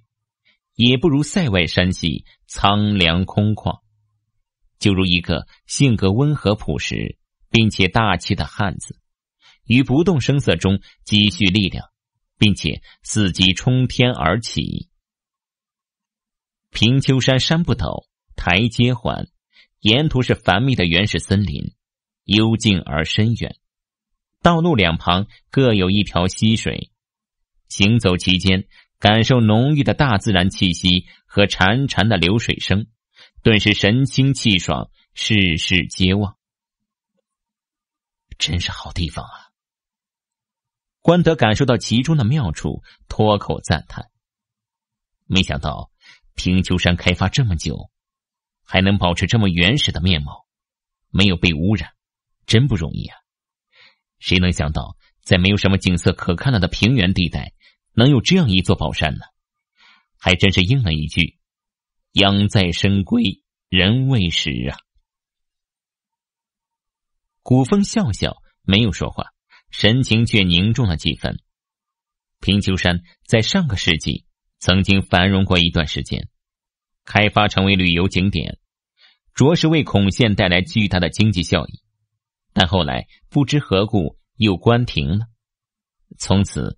再也没有人重提开发平丘山之事了，平丘山就淡出人们的视线。但据说此后几十年间，每年都会有一笔神秘的款项打到平丘山管理处，用来维护平丘山的日常管理。现在的平丘山是一处免费对外开放的天然公园，但因为没有商业利益的驱使，平丘山在国内过度开发的旅游大潮。始终保持了置身事外的冷静，保留了国内几乎再也无法见到的世外桃源般的景致。平丘山的景色全是天然景色，除了沿溪水开凿了一条上山的小径之外，其他地方都保留了原始面貌。人少，景色天成，就能让人感受到浓郁的灵气。怪不得，怪不得呀！我敢说呀，老人家一定在平丘山上。关德兴奋莫名，被平丘山的景致激发了内心的激动。这么好的地方，换了我呀，我也想住上一年半载的。想想看，一间茅屋附青山，老松半间，我半间，鸡吃山果可饮泉，不是神仙，胜神仙呢。哈哈哈！古风哈哈大笑，哈哈哈！你也有诗性大发的时候呀。不过想想也是，当年老人家必是离开京城，来到平丘山这样一处世外桃源，一人住在山顶上，有遗世而独立的感觉。人在山顶，心在京城。你说，当年老人家看到全国山河一片红，无数人迷失了本性，陷入狂乱之中，他是无奈而悲伤，还是苍凉而心叹？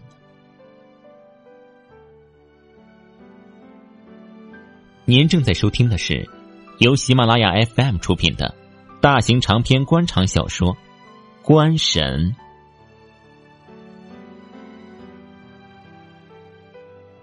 啊，我认为都不是。关德若有所思的说道：“老人家估计会想啊，大乱之后必有大治，国家动乱，民族兴衰，从来不以个人意志为转移，不能将一场浩劫都强加到一个人的身上啊。每一个身在其中的人，都有不可推卸的历史责任呢。”古风点头赞许。有见解啊，关德，你也不简单吗？关德呵呵一笑，哈哈，呃，和古总相比啊，我还差得太远了。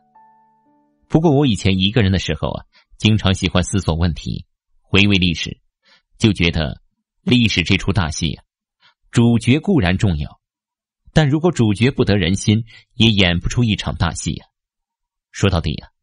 每一个主角都是无数配角心目中英雄人物的投射呀，就是说，好也好，坏也坏，都是自己的选择呀。哈哈，好吗？你的话挺有哲学味道啊。古风哈哈一笑，来到一处望景台，此时已经接近山顶，举目四望，整个孔县尽收眼底，北面。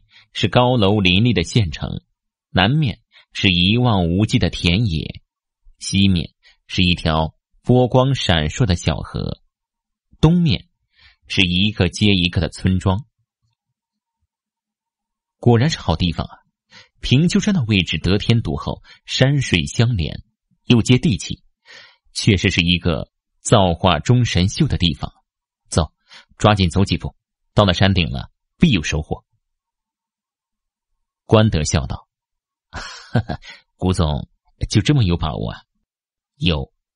走到半山腰的时候啊，我就想，如果是我，我会选择在平丘山隐世不出。平丘山没有名气，不会引人注目，但又缺灵气，景色优美，可以赏心悦目。而且还有一点，离京城又不远又不近，四百多公里的路程，进可攻，退可守。”果然是一处蓄势待起的好地方啊！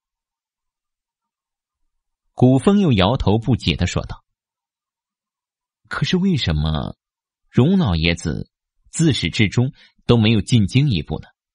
还是他进京了，无人知道，他又失望而去了呢？”啊，到山顶了！关德欢呼了一声。平丘山从山脚下爬到山顶。也就是半个小时，确实不高啊。山顶是一处平整如掌的平地，长满了鲜花和草丛，放眼四望，就如一块点缀在空中的花园，在阳光照耀下熠熠生辉。唉，我也不明白呀。关德也感慨的说道：“荣老爷子肯定是胸怀抱负之人，假设他曾经进京，又失望而去。”那么他一直在孔县避世不出，以他的才学和眼光，必定是因为孔县有人才出世。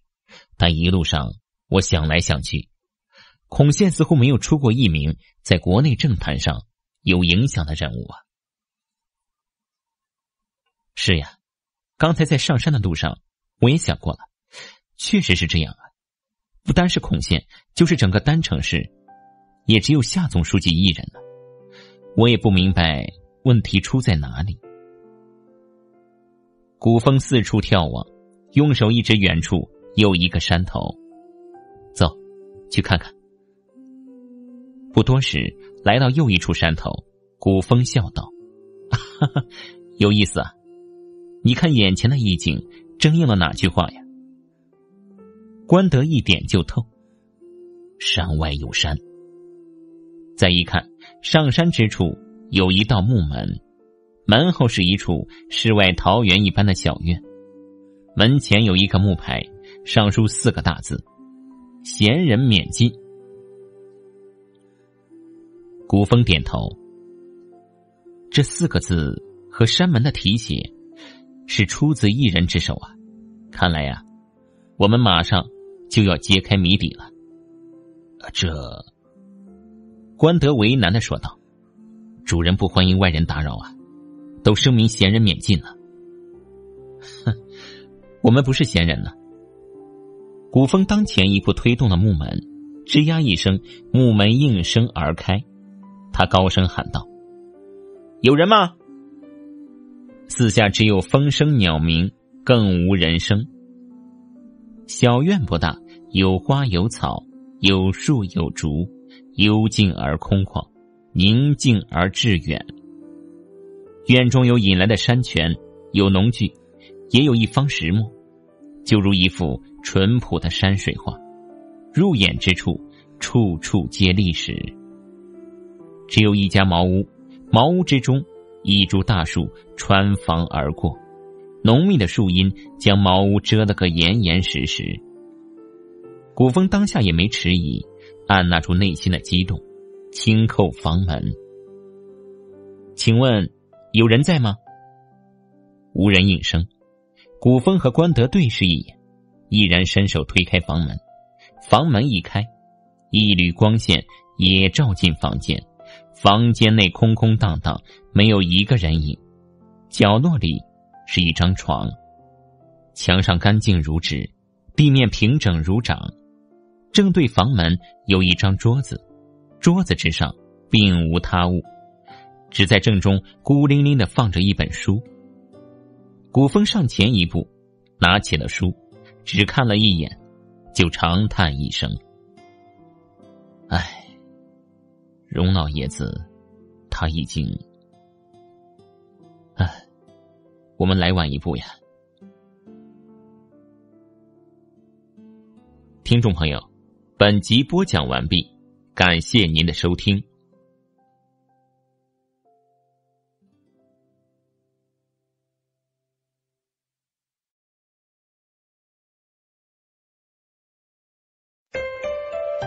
留住动听的声音。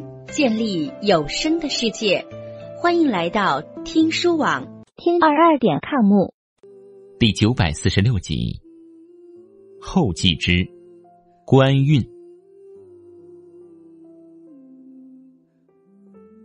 关德向前一步，目光落在书皮之上，是一本已经泛黄的线装书，不是印刷的字体，是用毛笔写的行书，苍劲有力的写着两个大字。官运，只有书名，没有作者署名，他也没有多余的解释说明。古风捧书在手，一时唏嘘。再环顾四周，房间只有十几平方米大小，别说藏人了，连一只小鸟、小兽都藏不住啊。也就是说，古风此行是不可能再见到荣老爷子的人了。好在并非全无收获，还有一本书可得。房间内既空无一人，也没有任何可以看出有人生活的迹象，空空荡荡，显然已经很久没人住了。除了干净整洁的地面和一尘不染的桌子显示有人定期打扫之外，此处已经人去房空了。走，下山去。古风当前一步迈出房间，心中说不出来是沉重还是轻松。说实话，他既然明白可能见不到荣老爷子，又怕见到荣老爷子的墓碑。现在好了，活不见人，死不见尸，全当还留下一个永久的念想吧。荣老爷子，关德小心的问了一句：“老人家神龙见首不见尾，就当他躲着不见吧。”古风也是自己安慰自己，也许。他就在山林深处，看着我们，笑而不语吧。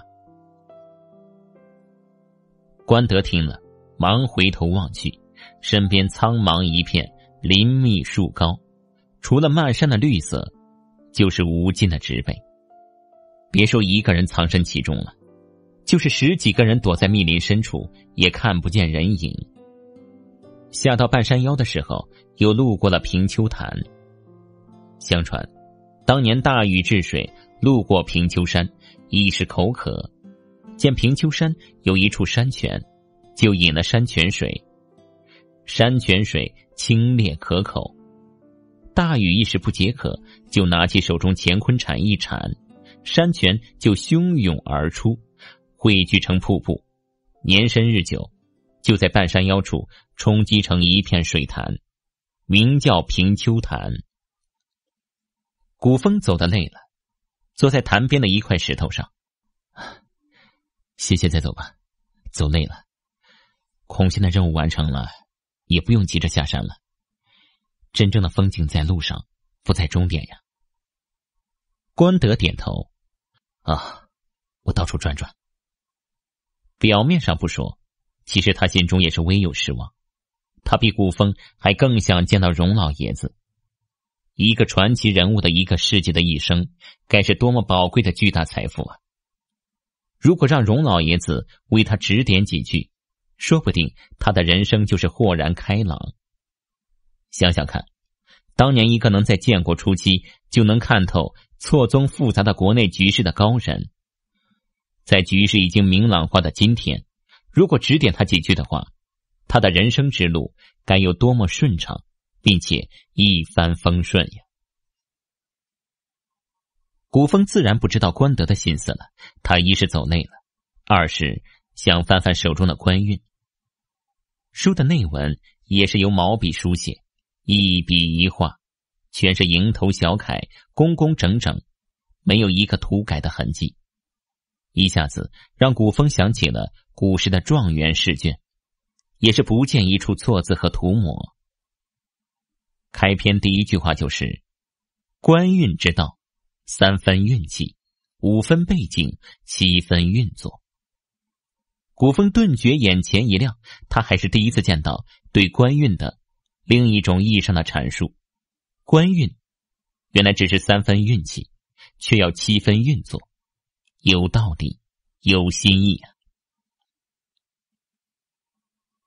古风又急忙翻看第二页，想看到书中对官运更深一层的探讨，不料让他失望的是。第二页的内容没有再承接对官运之道的解释，而是有了故事情节。最早孔县不叫孔县，而叫平丘县。清朝年间未必孔丘会改名为孔县。洋洋洒洒几千字下来，记载的全是孔县的历史和现状，相当于是一部孔县县志。古风摇摇头，好好的一本书，名字也不错，还以为是。讲官运之道，或是一个精彩的故事呢？怎么成了限制呢？又翻了几页，限制内容终究完结了。书的文风一转，蓦然变成叙事。出京城以来，已经三十余载，流落民间，餐风露宿，四海为家，倒也别有情趣啊。回首想想，人生一世。草木一秋，所求者不过是为天地立心，为生民立命，为往圣继绝学，为万世开太平啊！但天地之心是什么呢？生民之命又是什么？而圣人绝学既然已绝，何必再继呢？为万世开太平，就更可笑了。一个朝代的传承。不过两三百年，人生更是不过短短百岁，管好自己的一生就不错了，却要想着万事，不过是痴心妄想的杞人忧天罢了。人生不满百，常怀千岁忧。我在流落民间二十多年后，终于在孔县落脚，终于歇心，终于找到一个。可以寄托我的理想和壮志的人，我终于明白了：人生不满百，不用常怀千岁忧啊！千岁太久，不如只看朝夕。从现在起，我要把我一生所学全部教授到一人身上。他和我当年一样，心怀忧国志，却苦无报国门呐。现今时代大变，神坛不见，只要抓住机遇，一个无根无底的平头小子，也可以秉承官运之道，畅游观海之舟。官运之道，从今日开始。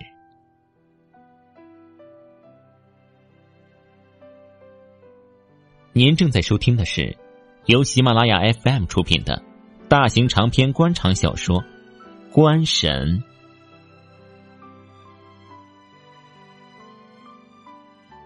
一个人，他是谁呢？古风完全被故事吸引了。他现在已经可以肯定的确认，《官运》一书的作者正是荣老爷子。就是说，官运在手，荣老爷子一生的传奇故事。和精彩人生将会展现在世人面前。古风几乎要欣喜若狂了，又往后看了几页，他的脸色为之一变。再看了一会儿，他更是忍不住惊呼一声：“怎么可能？荣老爷子不会骗人呢？但为什么他说的事情都没有发生过呢？不对呀，哪里不对呢？”等再看了十几页之后。古风一下站起，关德，立刻回京。关德正沉迷在平丘潭的美景之中，寻思着要不要下水游泳。一见古风脸色不对，立刻问道：“怎么了？我有重大疑问，只有夏总书记才能为我解答。快，一刻不停，立刻回去。”汽车一路奔驰在。单程前往燕市的高速公路之上，已经不再是之前的欧诺 MPV 了。欧诺放在了单城，古风换车是为了以最快的时间赶回京城。本来对欧诺虽然动力还算不错，但他还是嫌慢，希望能快点再快点由国产汽车现状让古风想到许多。从下乡时代开始。国产汽车就大喊复兴口号。当年一汽大众和上海大众打着拿市场换技术的口号合资了几十年，结果连一个变速箱的技术都没有学到，市场倒是替德国大众打下来了，挤压的国产汽车没有了生存空间。说白了，一汽大众和上海大众不过是充当了德国大众几十年的傀儡。被德国大众玩弄于股掌之间，摆布的团团转，还替德国大众扼杀国产品牌的崛起。甚至在一汽大众的一款汽车上采用德国大众变速箱后，德国大众还起诉了一汽大众侵权，确实是十足的笑话呀。但在下乡时代，总算让国产汽车看到了曙光，市场占有率节节高升。吉利、奇瑞成为国产汽车的中坚品牌，而长安也紧随其后，迅速崛起。想了半天汽车问题，古风收回心思，一路上都沉浸在官运之中。应该说，官运记载了一个异常精彩并且令人热血沸腾的故事。故事就是从孔县开始，然后一路挺进，稳扎稳打。一路走来，经历了官场沉浮和曲折离奇的斗争，比起夏想的经历还要神奇，还要惊心动魄。古风看得入了迷，也不觉得从丹城到京城有多远了，四百多公里的路程，他几乎没有说过一句话，完全被故事吸引了。到了京城，正好看完了全书，书不长。有些事情记录的很详细，有些是用春秋笔法一带而过，但大体上却是将事情起因和结局说得清清楚楚。书中人物的形象也栩栩如生。荣老爷子用第一人称记录的官运一书，主角并不是他，而是另外一个年轻人，就和之前古风推测的一样，荣老爷子流落民间。作为曾经开国元勋之一的幕僚，他的政治智慧不亚于建国以后任何一位高参，甚至不夸张的说，荣老爷子如果再有机会，他会以一人之力立刻四大家族的崛起。就连当年被称为官场智慧第一人的吴老爷子，在荣老爷子面前也有所不及。之前，古风认为吴老爷子的官场智慧第一，夏总书记政治手腕第一。但在看完官运之后，他仰天长叹：“只可惜呀，荣老爷子生不逢时。否则，如果荣老爷子留在京城的话，当年显赫一时的四大家族就有可能不复存在了。但即使荣老爷子没有在京，他流落民间几十年，却培育出了一名顶尖的政治人物。整本官运记载的故事，都是围绕此人而发生的。”一系列的历史，古风不是不相信荣老爷子，但他实在是没有办法相信，因为按照荣老爷子的记载，在他的目光所及之处，国内政局和曾经发生过的历史有许多地方不重合，而在重大历史事件上，并没有下乡的出现。从时间上推算，在下乡已经成为耀眼的后备力量时。就荣老爷子书中的事件来看，似乎国内并没有夏想这个人。这正是让古风最大惑不解的地方，所以他才要急急回京，要当面向夏想请教个明白，到底荣老爷子记载的历史和真实的历史，为什么会有这么大的偏差呢？急急的来到夏想在京城的静安居，古风径直推门进去。一见夏夏就说：“爷爷，你得看看这本《官运》。”听众朋友，本集播讲完毕，感谢您的收听。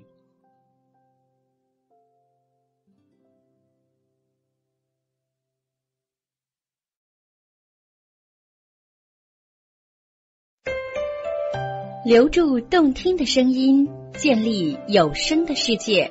欢迎来到听书网，听二二点 com。第九百四十七集，后继之新的开始。曾经叱咤风云、影响了无数人的夏想，此时已经满头银发，却精神矍铄，满面红光，正在花香满院、绿树成荫的院中打太极拳。一招一式，沉稳有度，开合之间已经隐现大家气象。夏香退下之后，居住在静安居。静安居绿树成荫，最难得的是，有不少数百年的古树顶天而立。在经历过无数次动乱的京城，还能和古树同居，实在是难得的幸事啊！明眼人应该可以看出来。静安居以及周围的大院子，虽然变动极大，但格局依稀没变太多，赫然是当年老谷的宅院。没错，老谷离世之后，宅院先归了古玉所有。古玉就没有在宅院住过一天，他怕触景伤情，就搬到郊外一处的别墅。宅院荒废了几十年之后，古来搬了进来。后来，古来经常出国交流中国传统文化，也顾不上打理宅院，就移交到夏夏名下。夏夏接手之后，经过数年装修和精心布局，等他退下之后，就安然住了进来。曹树离不常在京城，有时在燕市，有时在丹城，静安居就经常只有夏夏一人。人老了，都会思念往事。夏夏学会了打太极拳，而且还是正宗的、源自家乡的杨氏太极拳。最开始，有无数人挤破头要登门拜访夏夏。夏夏既然退下，他不会贪恋权力，就在门口贴了一张谢客启事，亲自将宅院改名为静安居，意思就是静心安养的居所。其后，谁都不好意思再打扰夏夏的清静。夏祥也终于在世事纷扰几十年之后，得以清静安养，并且回味人生。古风前往孔县寻找故人一事，夏祥自然知道。说是故人，其实他和荣老爷子并未见过一面，早年也并不知道荣老爷子的存在。直到吴老爷子辞世的前半年，老爷子突然思念故友。将当年的许多秘辛都说于夏祥，其中大部分都是夏祥闻所未闻的惊天秘闻。尽管当时夏祥已经身居高位，也知道历史掩埋了真相，而美化了丑恶。以上小事在历史长河中终会被淹没，伟大的、卑微的、美好的、丑恶的，全都会是历史的尘埃。而有些涉及到开国领袖背后的秘闻，不为历史所知，或许会永远埋没的一部分事实，就让夏想几乎不敢相信自己的耳朵。曾经在共和国的历史上活跃着一群高参，一群不为人所知、不会记载进历史的高参，他们没有身份，没有地位，既不是秘书，也不是秘书长。却对领袖有着无与伦比的影响力。从影响国家大计的决策，到领袖的每次出行的时间安排、路线安排，甚至是领袖居住之地的家具摆放等等，都由他们一言而定。而领袖对他们的信任，更甚于秘书或是护士。他们曾经是领袖最信任的人，领袖对他们的信任。超过对身边任何一个人，所有人都对领袖毕恭毕敬，不敢大声说话。只有他们在对领袖提出建议时，不是以请求或请示的口气，而是以平等对话的姿态。其实，在漫长的中国历史中，历来不乏藏身于君王背后出谋划策的高参，他们之中有人青史留名，比如东方朔、严君平、袁天罡。有人没有文明显示，但无数帝王活动背后，无一处不彰显他们的隐性存在。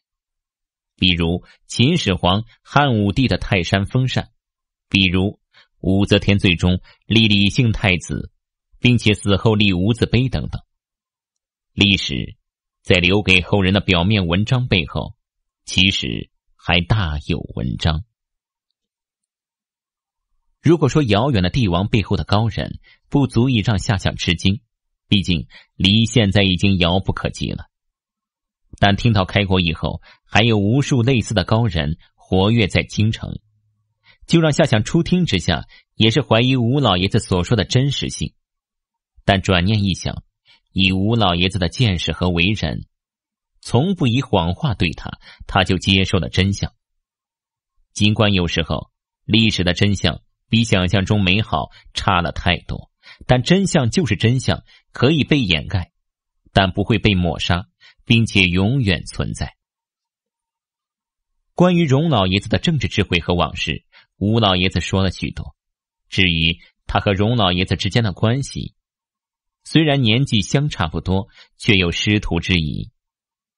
吴老爷子最感慨梁山的一句话，想想直到今天依然历历在耳。荣老爷子当年呀，离开京城的时候，他有一个弟子，说什么也不肯离开呀。说是正逢开明盛世，正是为国报效的时候。荣老爷子叹息一声说道：“呀，开明盛世还早，胡适是何等聪明的人物，为何不留下呢？”弟子说：“老师要当胡适，我就做吴晗好了。”当时夏夏还问：“结局如何呀？”吴老爷子反问一句：“吴晗的结局如何呢？”夏夏唏嘘良久，一时心痛难言。您正在收听的是由喜马拉雅 FM 出品的大型长篇官场小说《官神》。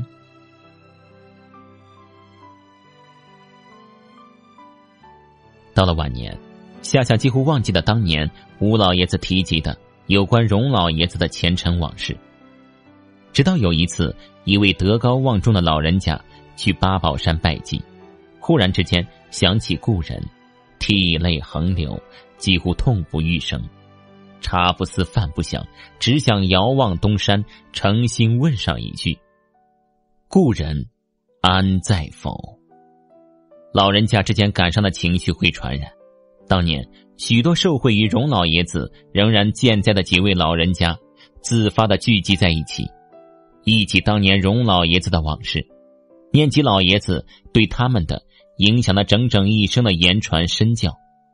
几位世纪老人曾经叱咤风云的人物，在暮年苍苍时，当年的威风不在，人人热泪长流。感怀荣老爷子的恩惠，竟有一人悲痛过度而晕厥在地。消息传到古月耳中，几位老人家要么是爷爷的至交，要么是爷爷的亲朋，他不能不管不顾啊。消息也传到夏祥耳中，几位老人家都是国宝级的人物，不能让他们有丝毫闪失。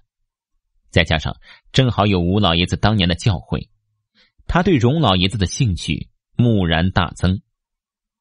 最后，就由古玉决定，让古风亲自出面去寻找荣老爷子的下落，一是对荣老爷子的敬重，同时。也是为了让京城几个硕果仅存的老人家放心，连古风都亲自出动了，肯定是抱定了不管怎样都要带来确切消息的决心。古风出面，暂时安抚了几位老人家激动的心情。在古风离京之后，几位老人家隔三差五的打来电话问事情的后续进展，不敢直接打扰夏相，却直接打给古玉。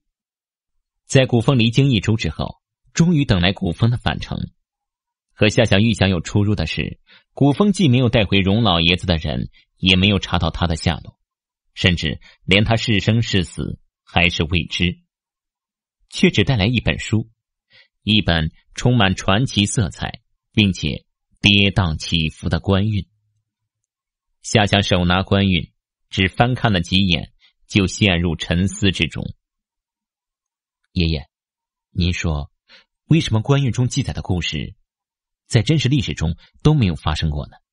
您看这里，这里，还有这里，这些记载的历史事件发生时，以您当时的级别，应该清清楚楚。我不敢肯定是不是真实发生过，您能不能告诉我，这到底是怎么一回事啊？夏夏轻轻合上官运，并没有正面回答古风的问题。反问道：“你能确定，官运就是荣老爷子的亲笔吗？”能。古风斩钉截铁的答道：“他现在火急火燎，对于荣老爷子，他敬重如神。但荣老爷子记载的历史，又偏偏和真实发生过的事情有严重的偏差。他迫切的想知道真相。”翻开官运的墨页，在不起眼的角落里，有一行小字，他指给夏祥：“您看，闲云野鹤，容半山记，有署名的。”夏祥只看了一眼，摇了摇头：“只一个署名啊，不能说明问题的。呃，这样吧，你拿书啊，去让几个老人家看看，如果他们确认是荣老爷子的笔记。”我就告诉你，为什么上面记载的历史和真实的历史有出入了。好，古风二话不说，拿出官运，转身就走。看着古风消失在院外的背影，夏香长舒了一口气，又打了几式太极拳，让微微波动的心情平息下来。其实他没有对古风说实话，在看到官运的第一眼。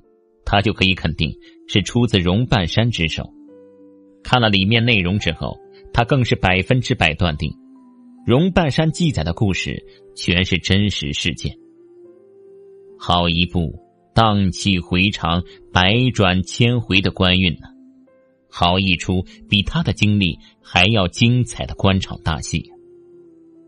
夏夏回味起官运中波澜起伏的壮阔人生，感觉比回忆起自己的人生之路还要畅快淋漓。他很羡慕官运之中被荣半山看中的年轻人，那个年轻人比他运气要好，机缘要好，而且官运也比他更亨通。夏夏之所以不告诉古风真相，是因为《官运》一书的出现事关他本人最大的秘密。他是重生者，以他现在的时空，历史已经被重写；而在荣半生的官运时空，是一个真实的历史，是另外一个时空发生的事情。只不过，两个时空因为一本官运的出现，意外的出现了交叉点。且不去管时空的问题了，夏想站在阳光之下仰望天空。在另一个时空里，他依然是一个名不见经传的失败者。他不是主角，而主角正是被荣半山看中并且精心培养的另一个年轻人。那个年轻人的故事，是一个全新的故事，是一次更惊心动魄的旅程，是一个。从头再来的新的开始，新的开始，是一个在荣半山运筹帷幄之下，属于那个年轻人的时代，是一个更加风云激荡、更让人神往的时代。那个年轻人所走的道路，就连夏相也是羡慕不已。新的开始，是一个将官运之道演绎的。精彩绝伦的故事，亲爱的听众朋友，本书已全部播讲完毕，感谢您的收听。